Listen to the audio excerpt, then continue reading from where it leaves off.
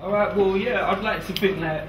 What are you thinking about in terms of like a deal? Because I know you, especially, bro. I've seen you selling CDs up and down the country. You know you've done that element of it. So, do you think it is the best way to go? Like, obviously, the, the money's got to be right, but is it a direction you want to go Anyone in? doesn't want to deal with fool, let's be honest.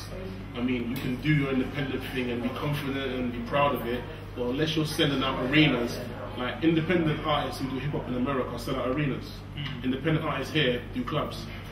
And you know, promoters probably say, "Oh, we want we want to tax you for breathing air.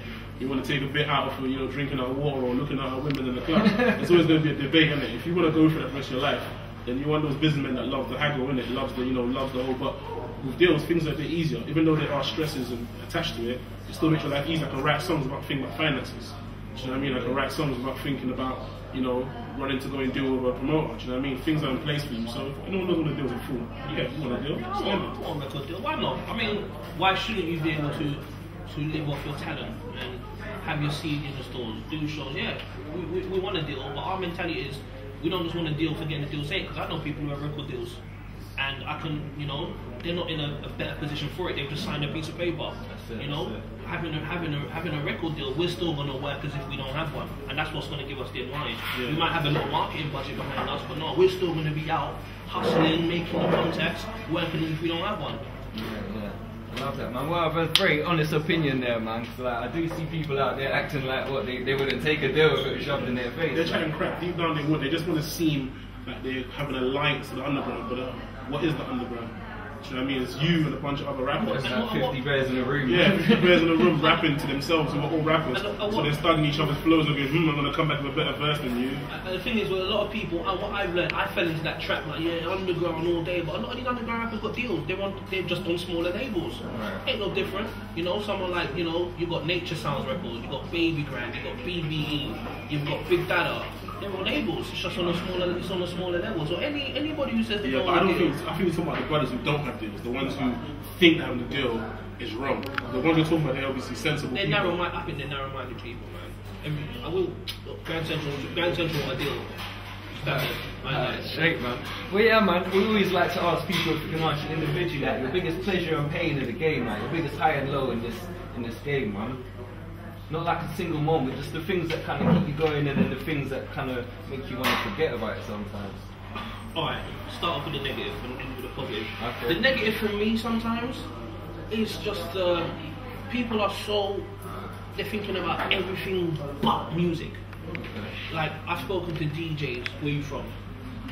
I'm from North East. Oh, so you're not from East London? Who cares? Do you know what I mean? It's just a postcode. Like the, the negative is just people not listening to what you have to say or trying to put you in the box or you're that type of rapper or you're not you're you know I don't I don't it's just everything is just not to do with the music. If you don't like my music, that's fair enough. It's not for everyone, is it? Tomato, tomato, it's you know, but that's the negative part. I think the positive part for me is when people react to the music.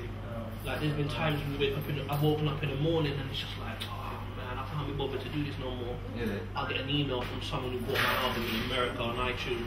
Like some some guy hit me up and said, look man, your album was the soundtrack to my life. So Wow. things like that, you just think, okay, someone is listening, they give you that extra bit of juice just to keep going and, and to get better at what you're doing as well. Yeah, that's real, man. You got it. Wait, the negatives, similar to what he said, just small-minded people automatically pigeonhole you and think because of that, the power that they have, they can they can just basically, you know, choose which path they want you to go in or not. You know, certain DJs only play your music when a certain established DJ plays your song. They go, oh, sorry for blanking you all these years. I'll, I'll play it now. Do you know what I mean? And that's probably one of them. And then the positives just knowing that there's people out there who, give, who, who actually listen, you know what I mean? People out there who like getting going to Cardiff and getting stopped by someone who wants my autograph, and I'm like, I've never been to Cardiff in my life, do you know what I mean? Just just things like that that make you think, wow, like the hard work is paying off. There's people out there who, while you're having a shower, while you're drinking tea, are actually listening to your lyrics, your your music, and actually debating about whether you're better than that person or that person. Just knowing that your name is flying about for what you chose to put out. That's that's a beautiful thing. You know what I mean? Definitely. Definitely. All right. Well, yeah. Can you give them like the last plug where to where to get the new stuff and where obviously the video is going to be coming soon. Very soon. See. Very soon. If you want to get in contact with us, we just launched our, our website, so um, no, no more sending out links on Twitter and Facebook no more. Those days are over. Go to grandcentrallife.com. We have a full blog on there. You know, he's crazy, I'm smooth. We write blogs about any and everything, not just music. Um, we've got our videos up there. We've got photos. Uh, downloadable music, grandcentrallife.com, and we also have a Twitter as well, which is grandcentral123. But all these links are on our page, so you can link us on Facebook, you can link us on YouTube, and you can link us on Twitter as well. grandcentrallife.com. That's it. There you Go go, on there, man. innit? That's it. Alright, so yeah, like, the, the title, what's the title of this the video again? Let them know. Um, call me anytime you like. We're shooting two today. Call me anytime you like, and baby, you know. Yeah. And Two or um, three videos, by the way. We've got Yeah. a third video on the way. Yeah, then um, also the mixtape's called God Loves Grinders Volume One.